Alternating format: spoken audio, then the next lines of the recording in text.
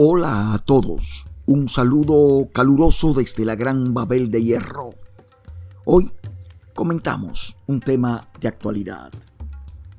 En medio de la niebla de la guerra, puede ser difícil ver el camino a seguir.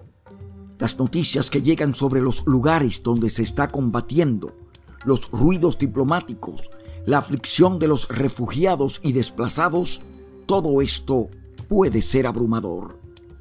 Pero demos un paso atrás por un momento y consideremos cómo podría desarrollarse el conflicto entre Rusia y Ucrania en los días por venir.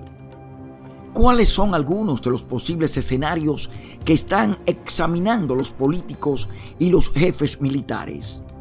Pocos pueden predecir el futuro con certeza. No obstante, hay algunos posibles resultados.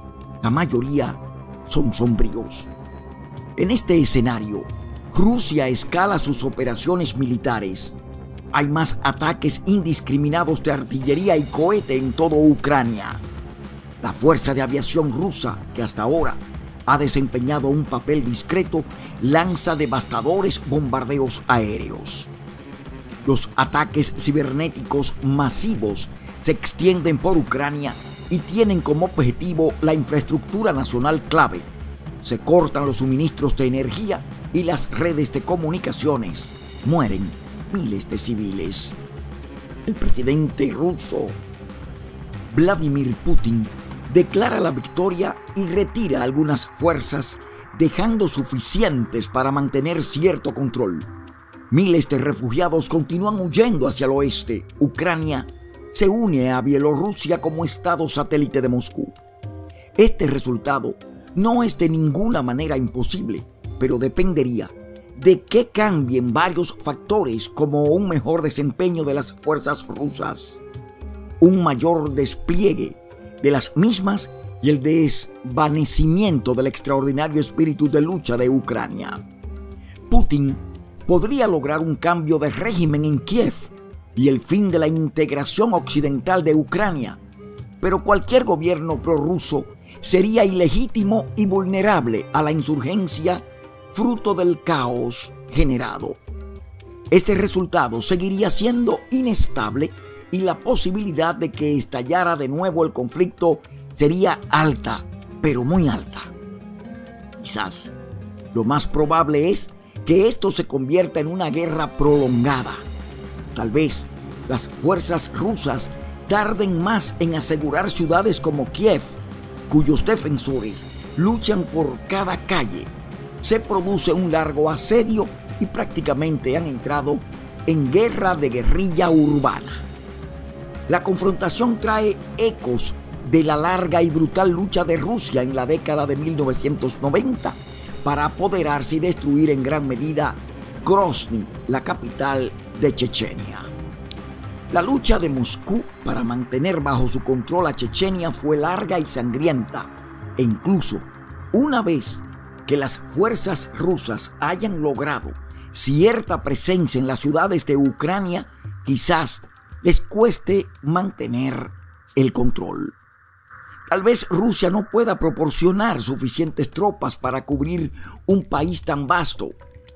Sería posible que esta guerra se extendiera más allá de las fronteras de Ucrania? El presidente Putin podría tratar de recuperar más partes del antiguo imperio de Rusia enviando tropas a ex repúblicas soviéticas como Moldavia y Georgia que no forman parte de la OTAN. O simplemente podría haber un error de cálculo y una escalada. Putin podría declarar que el suministro de armas occidentales a las fuerzas ucranianas es un acto de agresión que justifica represalias.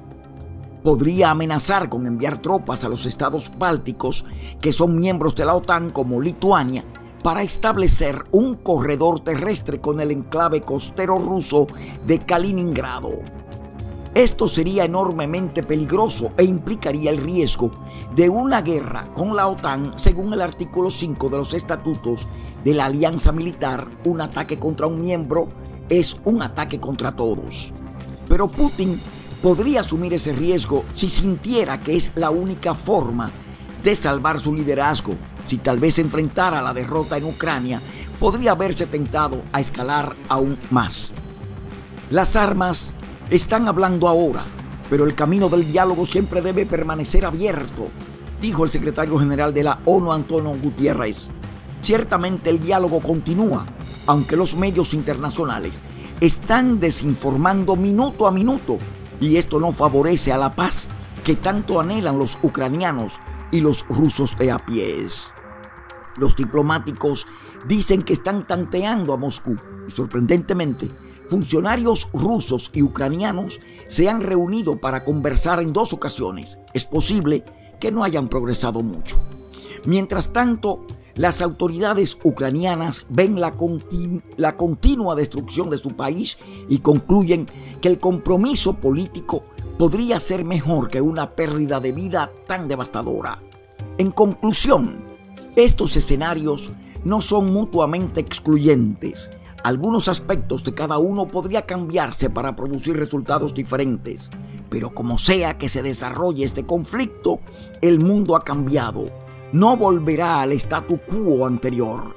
La relación de Rusia con el mundo exterior será diferente. Las actitudes europeas hacia la seguridad se transformarán y el orden internacional liberal basado en reglas podría haber redescubierto para qué servía desde un principio. Gracias, gracias por acompañarnos. Hasta nuestro próximo comentario, amigos.